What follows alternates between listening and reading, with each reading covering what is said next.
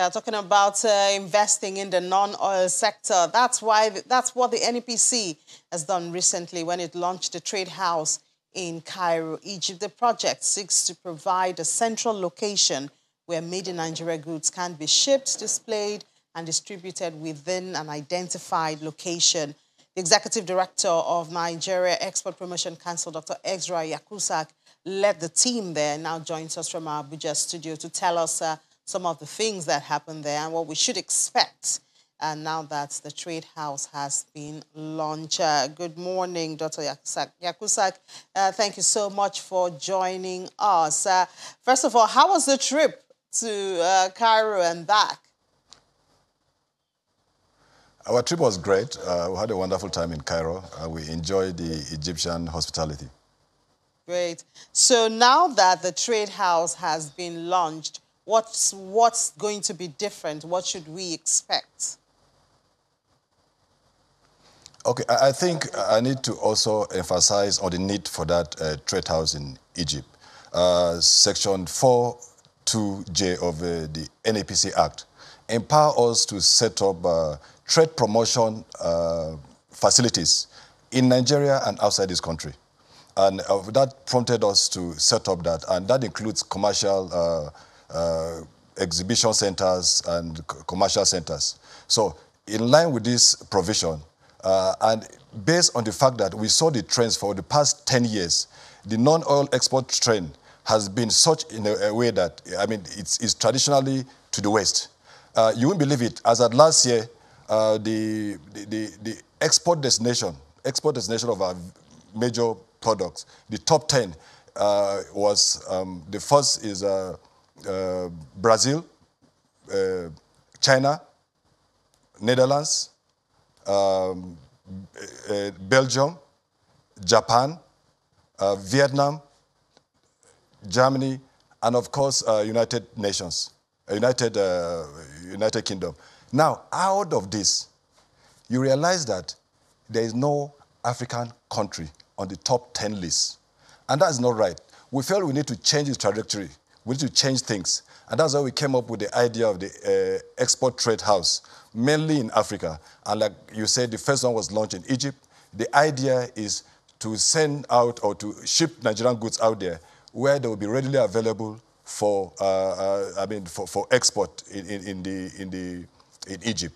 And of course, we wanted to look at Egypt as a launching pad for, I mean, to reach the non Northern African area, I mean, Northern African region. So that's why we uh, launched that uh, program there. But I also need to tell you that the trading pattern between Nigeria and Egypt is not, is, is it's, it's, uh, it's uh, skewed in favor of Egypt.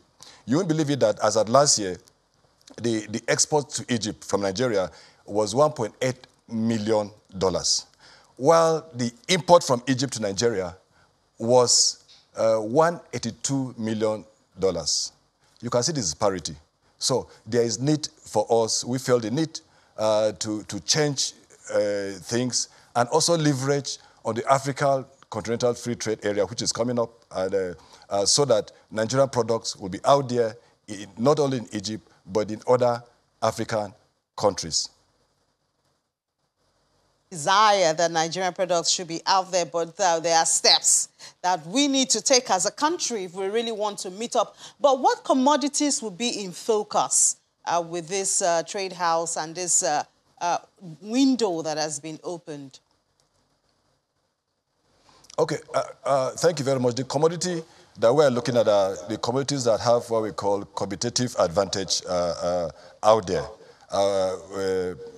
the first is like sesame seed. Uh, sesame seed is our major uh, exportable product to Egypt. Uh, we have sesame seed. Uh, we have uh, ginger. We have saffron. Uh, we have cocoa powder and cocoa paste. These are some of the commodities, commodities we are looking at um, to, to be exported over there in Egypt. And of course, that does not limit those commodities. There are other commodities that we can export. It depends on the demand there. You know, it's a demand and supply thing. Depends on the demand uh, over there in Egypt. We've heard uh, before now of issues around storage, which affects the quality of the crops, you know, that we export. What are you doing around that? I mean, it, it's not the first time. I remember when we tried to do the yam exports. Uh, we remember the, the, the, bottleneck and the trouble that we, that we went into. So what are you doing in this area so we don't get crops or products that are exported and then they are being sent back or rejected by, by the uh, customers? That's the beauty of this uh, project because we had, uh, we had that in mind. We look at all the issues and uh, we felt uh, there is need to, to, to curb that. And of course, I need to inform you that the Export Trade House is a PPP arrangement, a public-private partnership arrangement between us and JM Goma International and Agrivedi. Agrivedi is actually, a, Agrivedi Limited is actually a, a company based in, in, in Egypt. Uh, uh, they are partners with JM Goma, a, a Nigerian company. So the, the scenario is that once these before these goods are exported, JM Goma will look at the goods, uh, look at the exportable standards, standards of the good, and make sure that these goods are of particular standards before being shipped to Egypt to his partner in, uh, in, in, Egypt, uh, in Sadat Industrial City, Egypt. So that way, the issue of, uh, of the products, the, the issue of uh, products being bad or anything will be cut completely. So these are some of the measures we are taking to ensure that uh, our products are not rejected out there in Egypt. And you see, I need to also say that once this product reach Egypt, you don't need to have a buyer in Egypt, by the way. With the arrangement we're having, you don't need to have a non-buyer in Egypt. Once the product reach Egypt, uh, the Egyptian company will invite uh, Egyptian buyers there. They will go inspect the goods, look at the goods, and once the goods are of, uh, of, of the standard they want, they will just pick up the goods and, of course, repatriate, repatriate uh, the, the, I mean, the, the, the, the, money back to Nigeria. And, of course, with this project, you will agree with me that it will enhance our foreign exchange inflow.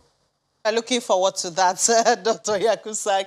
Really looking forward to that because Forex has been a major challenge for a lot of businesses and business operators in Nigeria. Now, let's look at uh, the farmers. You talked about ginger, sesame seed, and all that. Where, where, where do the farmers come in? How do you get them into the picture here? Okay, what we intend to do is, uh, what we intend to do is that we're going to actually invite the, uh, uh, the Egyptian company to Nigeria. He's going to talk directly to the producers and the farmers of these commodities. He's going to talk to them. And so they, they see him firsthand and ask any question they want to ask in respect of the project and what exactly they need to do. On our part in NEPC, we are enhancing the capacity of farmers and other SMEs uh, because, of course, they lack capacity. For example, we're organizing trainings on, the, uh, on, uh, on good agricultural practices uh, for farmers to, to increase their yield and, uh, and, and scale up their capacity uh, for export. That's what we are doing. So um, um, very recent, we launched a program, you need to know, we launched a program called Go Global Go Certification. And the idea behind that project is to ensure that we assist farmers and other SMEs to get certification out there. Because uh, what we realize is that uh, once our goods reach out there, I mean, they, they, they, they are rejected. And because of the lack of appropriate or necessary certification that are required internationally, like, of course, like HACCP, like uh, Fair Trade, Halal, uh, and other certification programs. So what we are doing is that we are getting in touch with our farmers and getting in touch with various certifying bodies, certification bodies, who will come and certify our products. And NEPC has been paying. Last year, we, we, we certified about 36 uh, uh, SMEs. And very soon, we are going on air to invite uh, other SMEs that require such facility so that we assist and, and, and, and uh, intervene in that area and give them the necessary support. Yeah, it's good you have that plan, and it's also good you earlier mentioned that you're working with the farmers to try to help them expand production and all that. Because sometimes when we talk about the farmers, the middlemen seem to be the ones who, you know, take advantage of the system. So I'm asking this to know how you are going to ensure that because of the issue of logistics, transportation from the rural area where some of these farmers are, moving them to the city, that we don't get the middlemen taking the profit and leaving the farmer to just, you know, with just peanuts.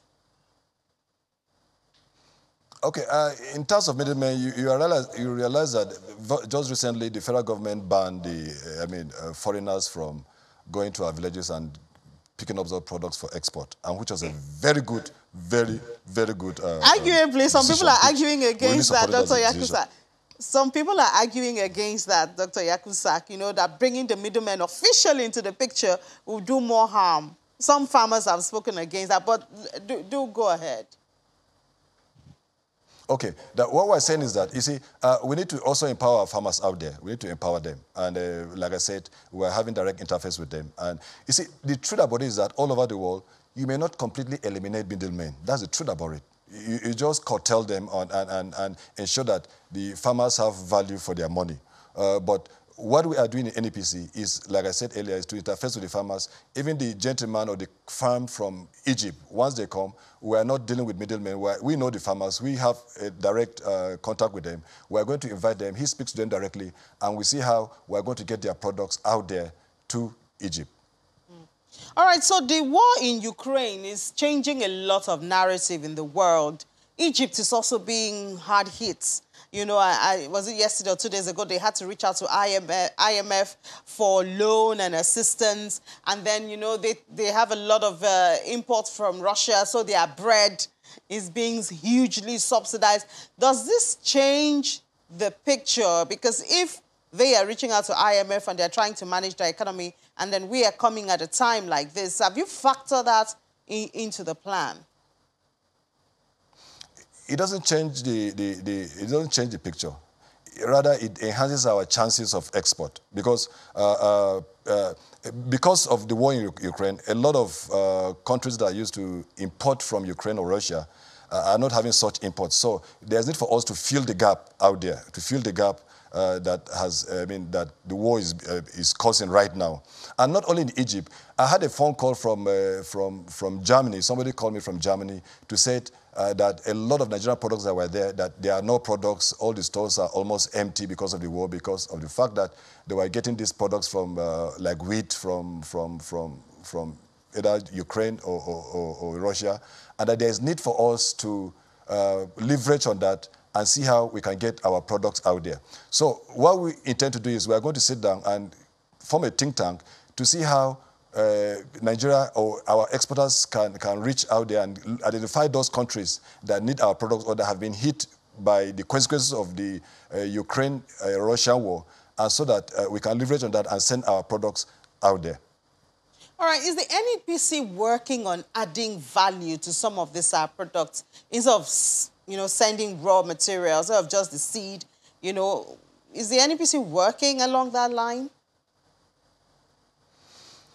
NEPC has always been working to add value because we know the essence of adding value to any product. Of course, you will agree with me that once you add value, you generate employment, you create more industries or establish more industries, and, and, and, and of course, uh, uh, poverty is uh, uh reduced or eradicated by adding value. And of course, you also know that by the time you send raw commodities out there, you are actually building another economy. I mean, I mean, another person's uh, economy. But you see, we have to face reality. Adding value, uh, uh, uh, adding value comes with so many things. One of it is infrastructure, and one of it is power. If you don't have the power to run the machines, you have a problem with adding value. And so, and so that's why we sometimes we sympathize with our exporters, and we don't have much that to say. See, uh, well, while we encourage adding value, but until things are done well or until we get all the correct indices or the infrastructure, you can go ahead and export what we have. We have a program called Export Expansion Grant Scheme. I mean, it's, it's a, an EEG scheme, an incentive scheme that are, that's given to exporters.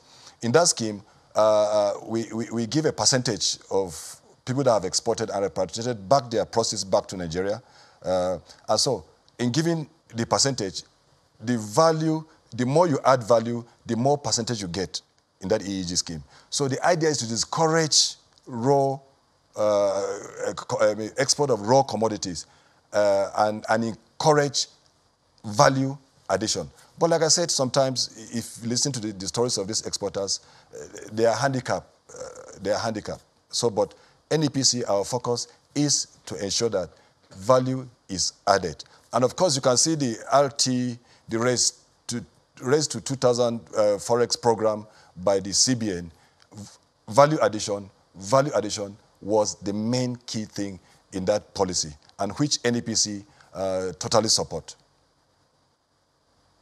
Much, uh, Dr. Ezra Yakusak, the Executive Director Nigeria Export Promotion Council. We do hope that you will help the, the handicap that the manufacturer and the exporters are facing because uh, it's for the good of the economy. Thank you so much and welcome back from Cairo. We hope to see more activities at the Trade Thank House you very much. in Cairo. Thank you very much. Thank you very much.